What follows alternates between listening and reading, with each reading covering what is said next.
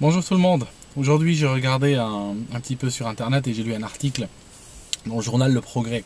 Alors, ça parlait de Marseille, un fait divers très intéressant, mais sur lequel je ne pouvais pas passer. Euh, en fait, euh, alors il paraît qu'il y, y a un canal, moi je ne connais pas très bien Marseille, mais il paraît qu'il y a un canal, et puis euh, ce canal est bordé de, de, cités, d'habitations en tout cas. Et puis euh, ce qui se passe, c'est que il y a des gens qui jetteraient leur, qui détritus, leur poubelle en fait, directement depuis leur fenêtre dans le, dans le canal. Et, et je trouvais la nouvelle très intéressante. Et puis immédiatement, j'ai contacté une personne que je connais qui habite à Marseille et je lui ai demandé parce que vous savez, moi je ne veux pas avoir de préjugés, je ne veux pas, euh, veux pas tomber dans le racisme primaire de bas étage, n'est-ce pas? Et puis, euh, et puis ce que j'ai fait, donc j'ai, euh, j'ai contacté immédiatement une personne et je lui ai dit, est-ce que les gens qui jettent leurs poubelles par la fenêtre dans ce canal-là seraient par hasard de la même communauté que ceux qui frappent et qui ligotent des gens qui ne font pas leur ramadan? Et puis, euh, malheureusement, donc la personne euh, a confirmé mes soupçons et puis elle m'a dit effectivement. Donc euh, voilà, Euh, ces gens-là n'appartiennent pas à la communauté du, voyage, bien entendu. Donc vous l'avez, vous l'avez compris. Il s'agit donc d'immigration d'origine d'origine maghrébine. Alors, euh, je ne peux aujourd'hui, à ce stade-là de, la situation, que vous féliciter de votre choix d'immigration. En fait, à ce niveau, on peut même plus parler de choix d'immigration. On est en train de parler de, choix de civilisation pour les siècles à venir. C'est-à-dire qu'aujourd'hui, vous avez choisi vos compagnons de route pour, pour, les, pour les prochains siècles. Euh, à, à, cette- à cette- à cette vitesse-là, euh, je ne sais pas comment vous allez vous, vous en sortir dans, dans 10 ans, 15 ans, 20 ans. Je, je je ne- le sais pas, sincèrement. Donc, en fait, comment j'ai su que comment qu'il s'agissait des migrations maghrébines En fait, voilà, je vais vous parler, je vais vous dire tout. Euh, vous savez, ce qui s'est passé, c'est que quand j'habitais en Algérie, je suis né, j'ai grandi en Algérie, bien sûr. Et puis, quand j'étais en Algérie, j'habitais dans une cité. Et à la base, la cité était, très propre, très clean. Il y avait, je me rappelle, même le, gardien de l'immeuble, euh, un moustachu, mais gardien propre sur lui-même, avec une blouse verte, euh, enfin verte bleue, une blouse bleue avec des boutons qu'il fermait le matin. Et puis il sortait les poubelles et il les poussait comme ça et il les plaçait sur le bord de la route où les éboueurs venaient les, euh, venaient les collecter. Et puis bien sûr, il donnait du bonjour madame, bonjour monsieur aux habitants de la cité. Et puis, ce qui s'est passé, très rapidement, il y a eu un chamboulement dans la société algérienne. Ça, ça vous intéresse ce chamboulement-là?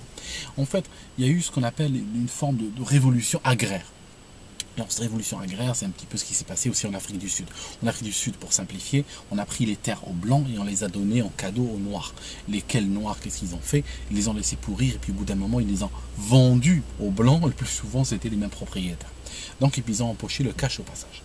Et le problème, il n'y a rien de pire que d'avoir des gens qui n'ont rien dans la tête avec du cash en main. Donc, ce qui s'est passé chez nous, c'était à peu près la même chose. On a exproprié des gens qui travaillaient la terre depuis des générations souvent, et puis on a offert ces terres-là en cadeau aux ouvriers. On a offert la terre, un compte en banque et un tracteur brillant, et on les a photographiés pour le journal. Et ce qui s'est passé, c'est que dès que le journaliste était parti, les gars, ils ont vendu ils ont vendu la terre et puis ils ont fait quelque chose dont ils ne rêvaient même pas dans, leur fantasme. Euh, si fantasme, bien sûr, parce qu'on parle vraiment de gens très très simples.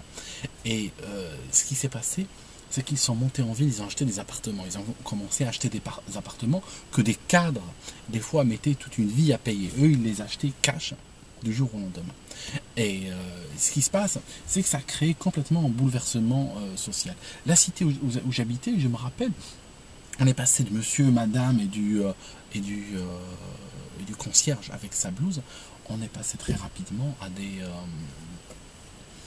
à des gens qui jetaient la poubelle par la fenêtre. Et moi, je me rappelle très bien que on a fini par déménager parce que ça devenait pas vivable euh, cette cité-là. Euh, C'était le, soir, tu, euh, tu fermes les yeux puis tu comptes et tu peux pratiquement un sac toutes les 30 secondes qui, euh, bascule par la, fenêtre. Donc en fait, vous, quand vous avez décidé de piocher dans, dans, dans, dans l'immigration, vous avez justement vous êtes venu justement frapper dans cette population-là et vous avez fait pratiquement une sorte de nettoyage ethnique en choisissant très particulièrement le type d'émigré, n'est-ce pas, qui même dans son pays d'origine, euh, pour tenter qu'il se sente originaire de quelque part, n'était pas, n'était pas socialement intégré. Je veux dire, quelqu'un, vous accepterez son démonstration que quelqu'un qui jette la poubelle par la fenêtre n'est pas socialement intégré. Et en fait, il ne jette pas la, poubelle sur vous parce que vous êtes des blancs, euh, même en Algérie, même dans leur pays d'origine, n'est-ce pas euh, Ils jetaient de la poubelle, de la poubelle sans arrêt.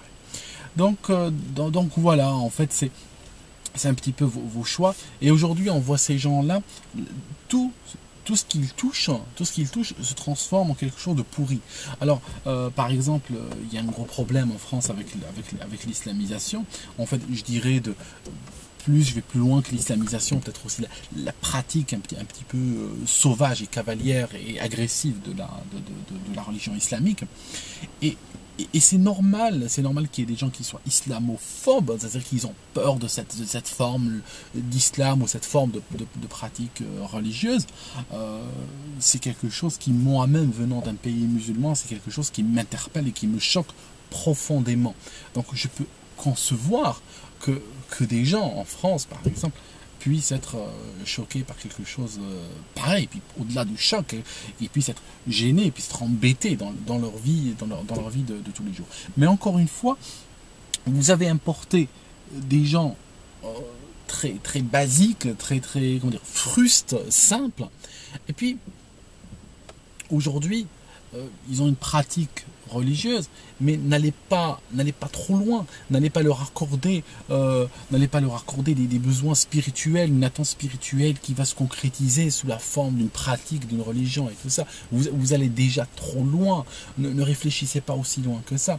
Nous parlons de, gens qui, quelle que soit leur religion, s'ils avaient été, euh, ils avaient été bouddhistes ou catholiques ou n'importe quoi, ils auraient été exactement comme ça. Ils auraient été agressifs, ils auraient été sales, ils auraient été méchants. Pour moi, des, gens sales, des gens qui font, qui, font de la prière, qui prétendent faire la prière dans le, dans la piste des chiens en plein rue de Paris, pour moi, ce, sont des dégueulasses. Ce sont des dégueulasses et qui méritent aucun respect. Et je, vous le dis, je viens d'un pays arabe et des gens comme ça, on les aurait balayés à la, à la, grande lance à incendie.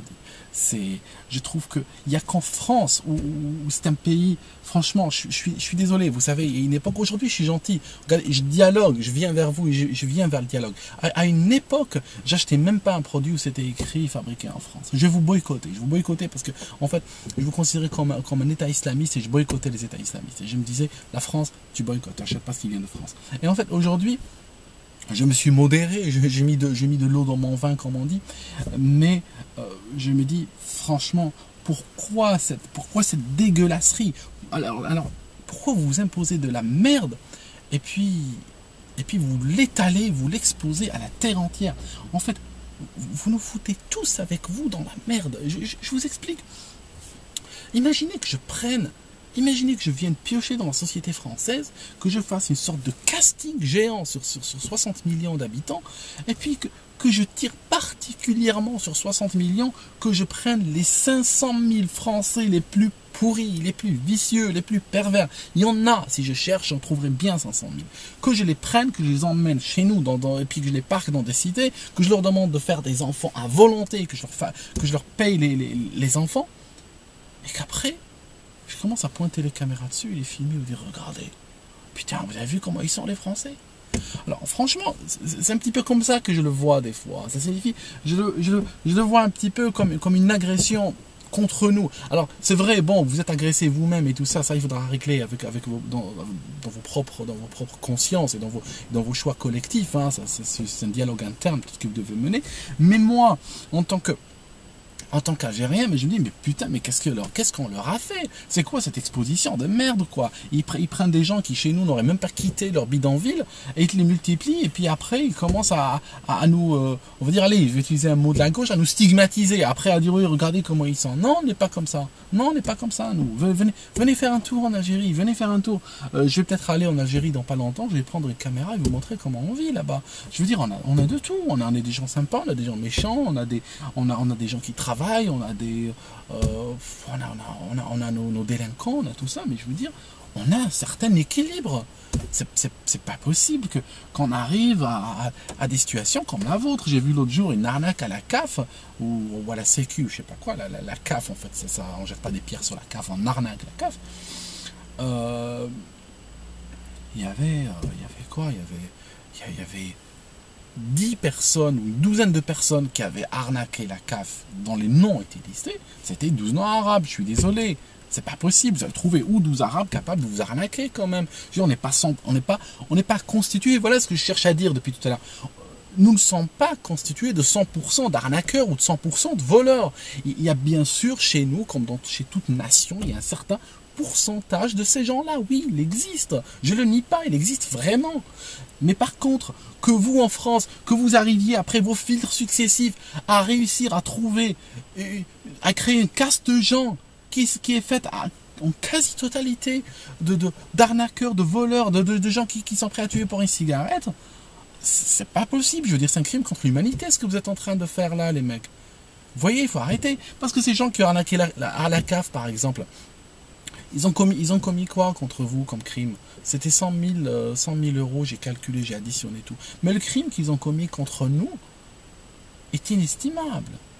Donc, et, je sens quelque part que vous êtes complice de tout ça, quoi. Donc, donc voilà, je vous demande un petit peu de, de, vous contrôler. Et puis si vous le faites pas pour vous-même, parce que ça semble pas pour vous-même, ça, ça semble très bien vous convenir cette situation.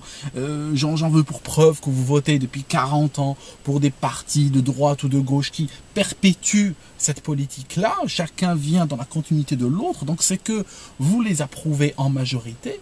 Alors je vous le demande aujourd'hui, si vous le faites pas pour vous-même, faites-le pour nous, quoi. Rendez-nous service. Enfin, euh, je vais arrêter avec cette vidéo et puis euh, je vous laisse tranquille pour.